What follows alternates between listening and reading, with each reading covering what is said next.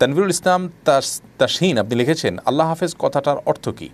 আমরা অনেক সময় কাউকে বিদায়ের সময় কথাটি বলে থাকি। সেই দৃষ্টিকোণ থেকে এটি বলা কতটুকু যুক্তিযুক্ত? কাউকে বিদায়ের সময় নবী করিম সাল্লাহ আসলামের সুন্না ছিল আস্তাউদ্দি আল্লাহ হাদিন আকুম ও আমানাতকুম অখাতিমা আমানিকুম এরকম দোয়া করা, যার অর্থ হলো তোমার দিন কে আমি আল্লাহর উপরে ন্যস্ত করছি, আল্লাহর কাছে আমানত রাখছি, আল্লাহ যেন তোমার দিনকে হেফাজত করেন এবং তোমার আমানতকে হেফাজত করেন। এবং তোমার শেষ পরিণতি কাজ যেন ভালো হয়, সেজন্য তোমার জন্য দোয়া করছি। অতএব সংক্ষেপে বললেও আপনি আস্তাউদ্দি আল্লাহ আপ তোমাকে আমি আল্লাহর কাছে আমানত হিসাবে ন্যস্ত করছি আল্লাহ হেফাজতে রাখছি। এরকম বলাটা হলো সুন্না এটি হলো সুন্না সম্মত দোয়া। আমরা এটাই বলব আস্তাউদ্দি আল্লাহ বলব, আল্লাহ হাফেজ বলার চাইতে এটাই বলা উত্তম, কারণ এটি সুন্না আল্লাহ হাফিজ বলা সুন্না নয়।